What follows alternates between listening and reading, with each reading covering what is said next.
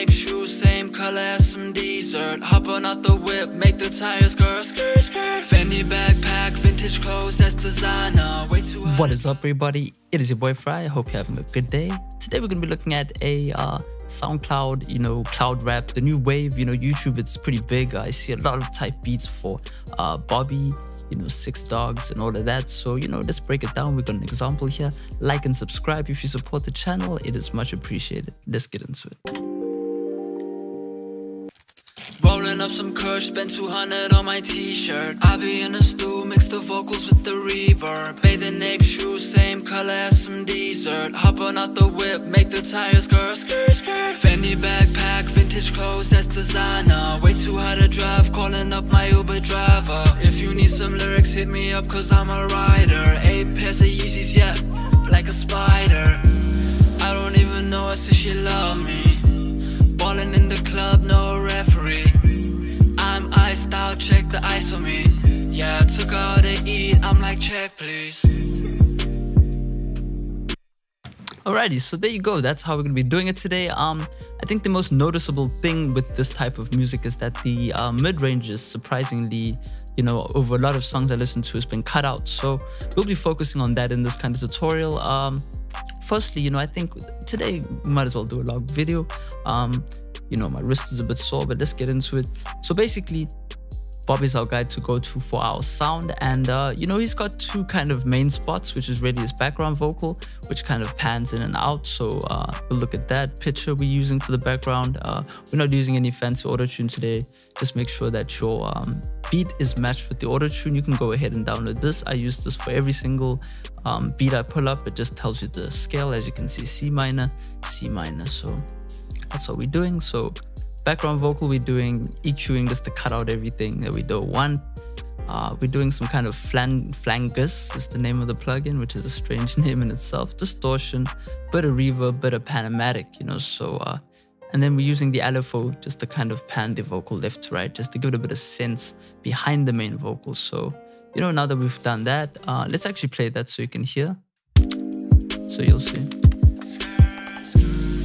So that was on that side. Now it's kind of on this side, you know what I mean? Yeah, so really you just want to, you know, set it up so it moves around a bit. You can make it go fast or slow. Okay, right, so now we got our main vocal, right? That is very much um, kind of more treble heavy. Let's put that away. Uh, more treble heavy, we got our main vocal here. We're doing the basic stuff. Uh, this is basically an adaptation of the Oliver recording template. So uh, if there's anything I missed in this video, I recommend going and watching that. If anybody is interested in getting this, um, if you have purchased the Oliver template, just send me a receipt and I'll give you 50% off because really I've just updated all of the EQ curves and all of that just to get you a more uh, precise sound. So yeah, um, so yeah, the other one is catered to Oliver, just so you think that this one's better. It's really just a bit different, really, using the same uh, skeleton, if I may say that. So yeah, first off we're doing is a 80 hertz cut, which we'll have over here, which is really just EQing, getting out the mud, you know, any room tone, any raspiness, you know, that my voice has that you want to get rid of. Um, then we're doing some compression, really just kind of standard compression, nice long attack so we can get all the words through, nice long release so we compress the whole vocal. Um, after that, we're doing a bit of de-essing, so if I just play the song, Rolling up some kush, spent 200 on my t-shirt. I be in a stew. Oh, which I am uh, interesting enough doing. Uh, we're doing some low end compression, so we are compressing the lower band. As I said, we want to concentrate on the mid frequencies and the high frequencies just to kind of get that emotionless feel. So second to that, then we do a bit of EQ just to kind of get rid of everything. So if I bypass uh, this EQ, you can really hear the difference. Rolling up some kush, spent 200 on my t-shirt. I be in a stew, mix the vocals with the reverb. Bathing ape shoes. Very more like crispy, but uh, you can go either way. It's really up to your voice and the beat at hand as well. Uh, just a bit of, you know, uh, articulation just to get that vocal to sound right. Um, after that, we do a bit more compression, right? Very similar style. Actually, we're doing the exact same compression, I think. Under the first one, we boost quite a bit. Pretty much kind of standard compression. Now we're attacking a bit harder because we want to um, grab any kind of things we've boosted. We want to just level out that vocal. So that's why we're doing two um, stages of compression. Saturation knob, definitely my favorite for just getting a bit more grit in the vocal. So let me just uh, bypass the compressor and the knob and you can see. Rolling up some kush, spent 200 on my t-shirt. I be in a stew, mix the vocals with the reverb. Mm, Bathing color as some dessert. Hopping out the whip, make the tires go skirt, skirt. Fendi backpack, vintage clothes, that's designer. Way too to drive. So you can really see it helps the vocal punch through when the 808 comes in. Um, now the next two are the most important, so I hope you concentrate here. But basically we've got the EQ, which is really nice EQ just for getting one point in your vocal that you think needs to stand out. That's what I generally use it for. Again, we're rolling off the bass.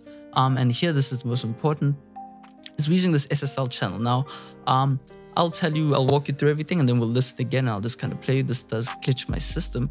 Um, but basically we are cutting away a lot of the low mids. So as you can see, they're around 300, 400 Hertz. We're kind of dipping away a lot of the frequencies. Um, we're getting, a, again, a lot, uh, we're getting rid of a lot of the bass and we're boosting treble, boosting treble. So uh, the other trick is just to add a bit of compression. So just watch this uh, light over here, you'll see.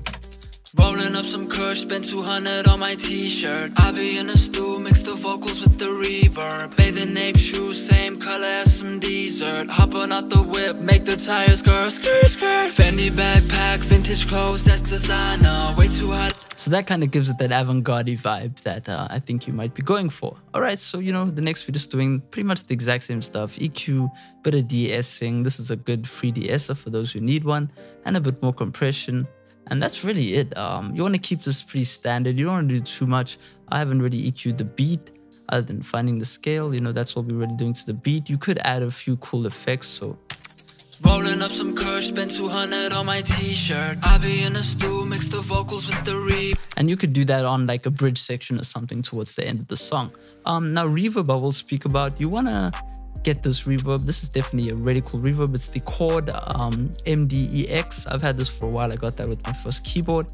And um, it has all sorts of reverbs over here. It has uh, lots of delays, um, a lot of flanges, you know, vocal compressors, all sorts of cool stuff that you can see I've made my own compressors right there, or settings, might I say. And yeah, if you don't have that, obviously uh, this template does have uh, different options, which you can copy right here.